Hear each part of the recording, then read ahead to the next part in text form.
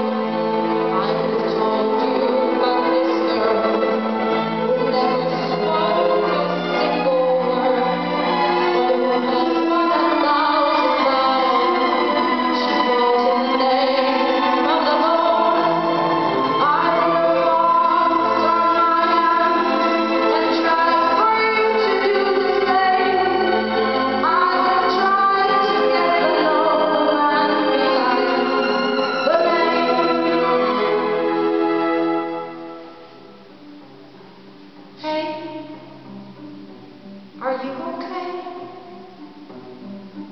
I'm so sorry about the things we'll never get to say.